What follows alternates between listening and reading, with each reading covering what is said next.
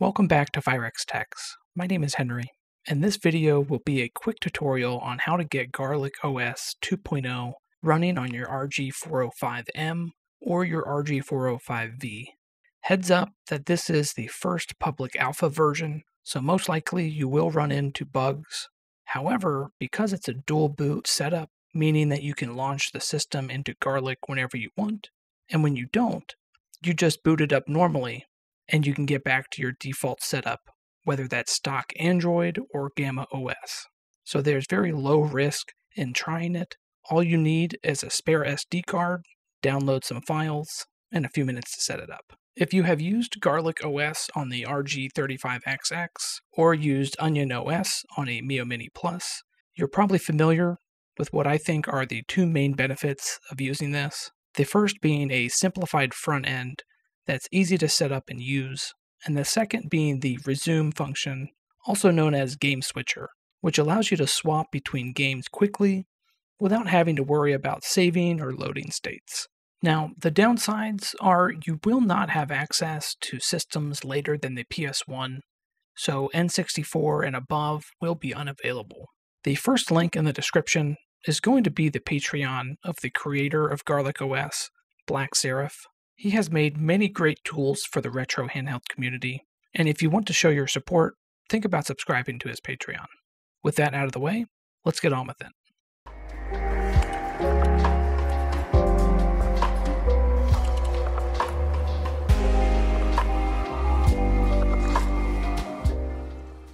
For this first step, take an SD card and make sure there's nothing on it that you don't mind losing, as we're going to be formatting it. Go ahead and connect that to your computer. Once you do, you will go to that SD card, right click on it, go to Format, and we want to make sure it is set to exFAT as the file system. You can name this whatever you'd like. I will just go ahead and put in Garlic OS. And when you're ready, hit Start. It'll let you know that we're going to be erasing everything on here. Just click OK. Once that is done, we will have an empty SD card, and we will need to get the files. There are three files that we need to download, and I have the links in the description for each of them.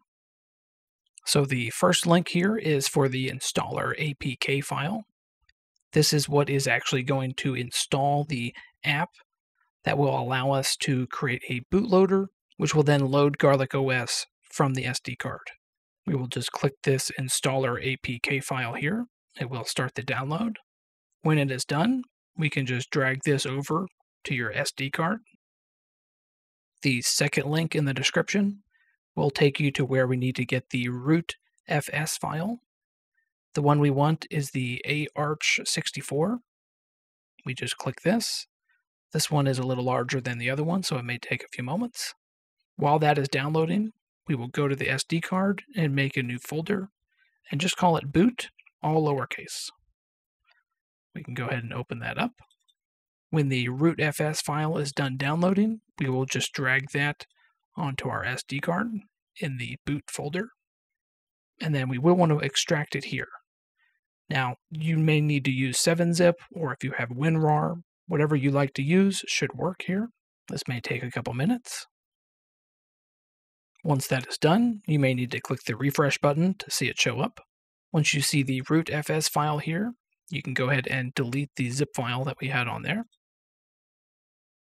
The third file is the initiator code. It is just marked as init. The way we save this is just right click on the page, go to Save As, click Save. Once that is done, drag that over to the same boot folder on the SD card and then we will want to rename this one and remove the dot text. So it should just be INIT. It'll then prompt you if you want to do this, just say yes. That is everything we need to do on the computer side. You can go ahead and close the web pages and eject your SD card. Now we will switch over to the RG405M. All right, so you can go ahead and put in the SD card into the device, power it on. Currently, I am running the stock Android OS.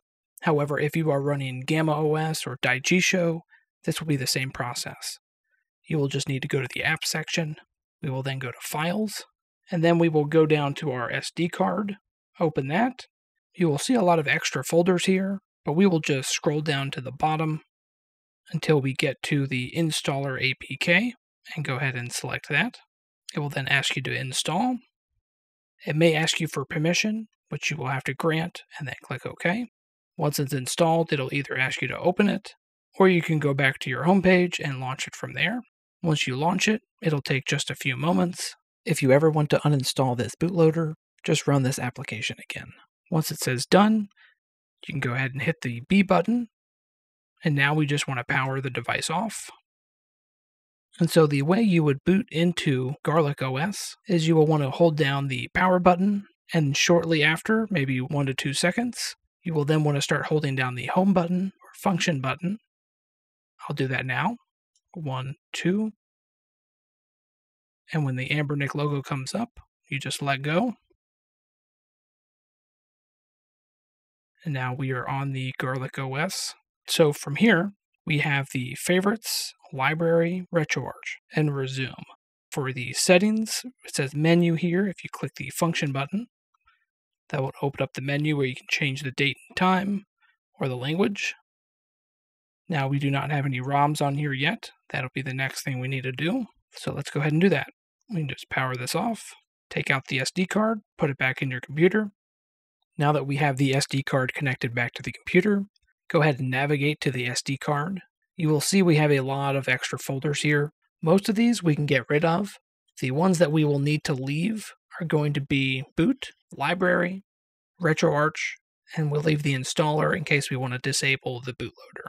Everything else we can just delete to clean this up. From here, if we open up library, it has already installed all the folders for all the different systems.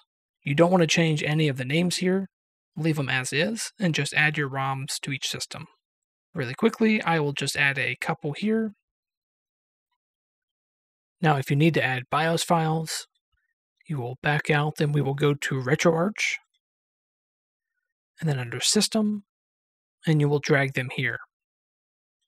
Now that we are done with that, we can just eject the SD card. After putting your SD card back into your device, power on the device again like we did before. Hold down the power button, 1, 2, start holding down the function button, and let go when Anbernic shows up. So as you can see, if we go to the library, we will see the systems for ROMs that I have put on here.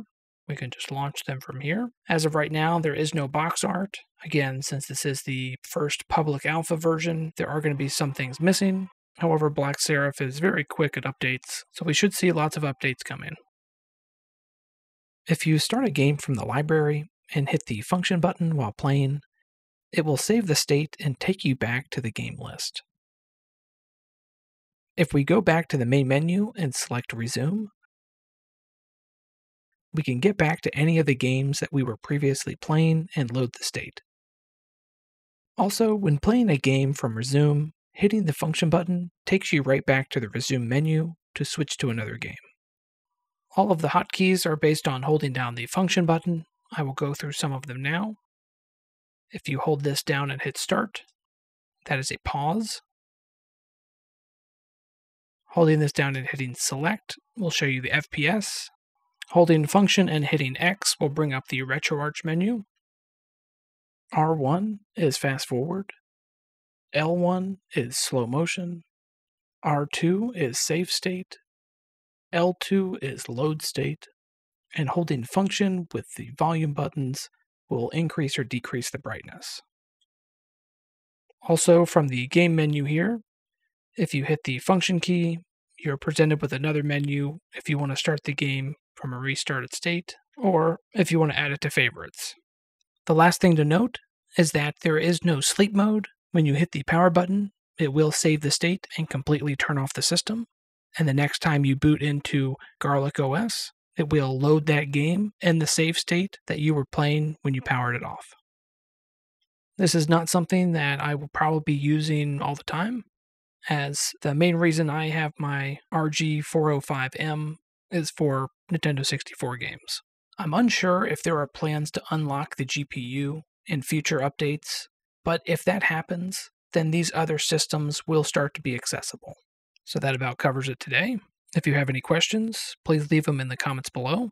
If you found this video helpful or informative, please leave a like, subscribe for more content from Phyrex Techs, and thank you for watching.